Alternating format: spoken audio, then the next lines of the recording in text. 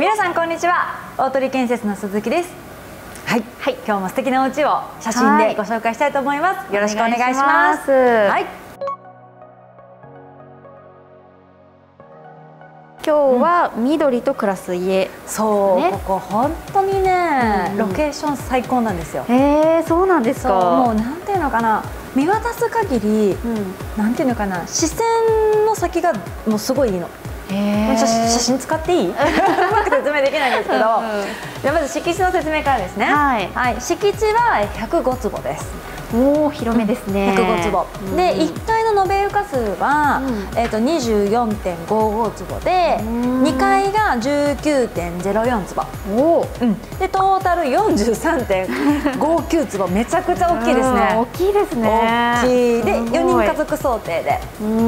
はい。結構大きい通り沿いにあるお家なんですけどももう完成するの待ってましたおとりさんみたいな感じで、えー、たくさんの方に完成原学会もご来場いただいて。あそうだったんですね、はい、でいろいろこのおせ様の工夫がしてあるので、はい、ちょっとね今日はぜひとも皆さんに。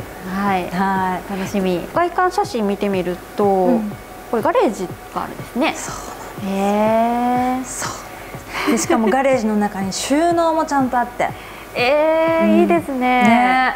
そうだから雨に濡れな雨に濡れずに、うん、そのね物の出し入れができたりとか。キャンプグッズとかしまいますね。そうですそうです。で、面白いですよここ。普通なんかガレージ収納ってなると、はい、あのなんでアウトドアグッズしまうとかそういうねイメージするじゃないですか、はい、実はゴミ置き場も作ってあるんです。あなるほど。そう。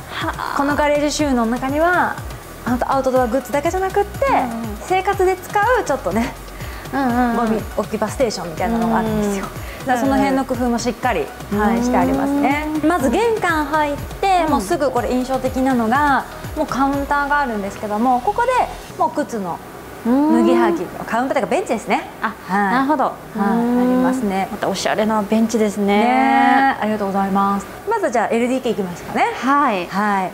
で LDK は25畳の空間となってます。広い。広いですよね。プラスアルファも吹き抜け空間がねめちゃくちゃ広いんで。えそうですよね。これ吹き抜けどれぐらいの大きさなんですか？吹き抜けだけで言ったら何どんだけあるのちょっと待ってね1234567畳 八畳分の吹き抜け。じゃあそれ以上にきっと見えるんですね。そうなんです。でしかもこのね写真で見てもらって分かるようにこの空の抜けてる感じ分かります？ねそうですね。すっごい綺麗でしょ？めちゃくちゃ綺麗。そう。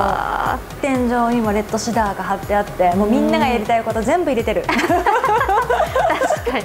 そう。で、ね、鉄骨階段で渡り廊下もあって、へえ、ね、すごい。すごい面白いんですよ、このお家はい。でえーと、まず LDK で空間、うん、LDK 空間でまず印象的だったのが、うん、あの階段横の格子格子があるんですけども、うんうん、これはねなんかうちの代表のこだわりらしいです。あそうなんですか。わ、はい、かります？皆さんこの格子、うん、ありますね。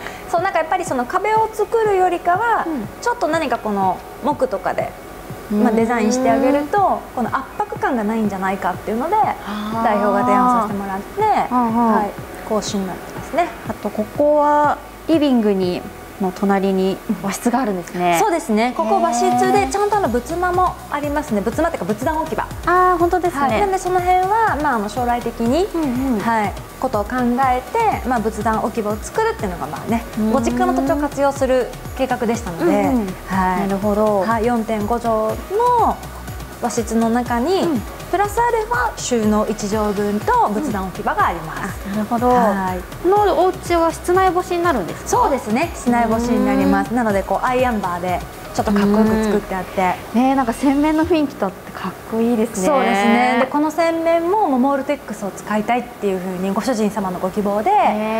そうなんす。ごく人気でした。完成見学会でもこのモールテックス憧れですよねこれも、でこの三面鏡の洗面とその横にあるカウンターからも可愛い小物が飾れるっていうので結構人気でしたね。あそうなんですね、うん、そうなんですよ。はい。トイレもね結構可愛い感じになってて、はい、この上の方に棚があるのも結構可愛いですよね。あそうですね、うん、ここにトイレットペーパーだったりとかちょっとした小物、はい、置けたり飾れたりできるようになってます。ダイニングもどっちかって言ったらこのインダストリアルとそのカフェテイストをちょっとミックスさせた感じですね。うん確かにその先ほどの洗面とまたちょっとか違う感じですね。そうですね、はい。なんでここではちょっとアイアンを使ったりとか、ちょっと真鍮の照明を使ったりとか。あいいですね。可愛くなりすぎないかっこよくなりすぎないちょっとこの中間。あそう。いい塩梅をこう入れていく感じ。ああいいですね、理想ですね。そうですね、でご主人のテイストと奥様のテイストをミックスさせていって、うんうん、やっぱりキッチンはね女の城って言われてるので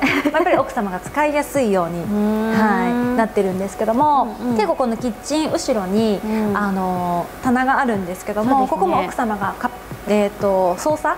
えーうんだったりとかを飾りたいっていうことでつけました。あとその横にちょっとミセスコーナーって言って奥様がちょっと PC 作業だったりとかをできるようになってますね、ミセスコーナーって言うんですね。言いますよねなんか。私も最近あそんなワードあるんだみたいな。もしかしてちょっとそれ古い？どうしよう。いやいやなんかそんな素敵な言葉あるんだそうなんかキッチンの横に奥様がちょっとくつろげる場所を作るみたいな。そういうワードがはい、えっと、先ほど私も LDK の話をした時に、まあ、渡り廊下があるっていう話をしたんですけど、はい、このね渡り廊下からのロケーションも最高によくって。ああねこの写真お子様が。そう。本当にこうね渡り廊下を挟んで子供の空間と大人の空間ってに分かれてるんですよ。あそうなんです、ね、そうなんです。えー、うん、なんかいいですねそれ。そう。なんかちょっと遊び心ありますよね空間構成に。はい室上に2つあるんですけども、うんうん、その子ども室はもう本当にロケーションがいいので、うん、それぞれちゃんとこの外の視線を切り抜くっていう意味でこのヌックを作ってますね。でまたその反対側の今度大人,、大人の空間の部分には、広い主寝室と、その奥にですね、はい、ご主人の空間があるわけですよ。この書斎。そうこれもその隠れたところにある感じが憎いよね。って言って、ね、はい、完成見学会でご意見いただいて。ますね、これは広さどれぐらいになってるんですか、三畳おその視線の先にもちゃんと緑見えますからね。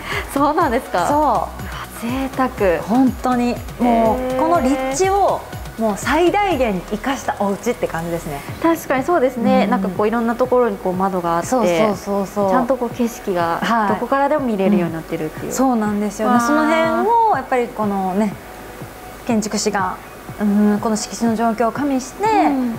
このお家に一番最善なこのお客様に合った提案をさせてもらったっていうんですよね。このお家ですごく印象的だったのは、うんうん、なんか皆さんが欲しいものを全部詰め込んだって感じ。いや確かに。ガレージ広い LDK 畳コーナーっていうかまあ和室、うん吹き抜けもありますもんね。そうそうそうそうそう。で渡り廊下があったりとかあとロケーションも抜群で。ねでその動線もね奥様の家事動線とかもしっかり考えられてるので、うんうん、なんか本当に、うん、人気でしたよこのうちは完成見学会で、うんうん、はいなのでちょっとまた皆さんもホームページの写真見ていただけるといいかなと思います、そうですね、はい。本日もお付き合いありがとうございました。皆さんいつもご視聴ありがとうございます。大鳥建設では大人気の資料請求と無料相談会を随時受け付けておりますので興味を持っていただけた方は YouTube の概要欄にある URL からお申し込みください。大鳥建設では名古屋と三重県四日市にモデルハウスがございますご予約制にはなるんですけどもあのいつでもご来場可能でございますのでそちらもあのホームページよりお申し込みください。また今回の動画を見ていいなと思ってくださった方はチャンネル登録と高評価よろしくお願いいたします。皆様からいつもいただくコメントにあの私はいつも目を通しておりますので気になることとかあのこれ教えてほしいよっていうことがあればぜひコメント欄にメッセージをください。お待ちしております。いつもありがとうございます。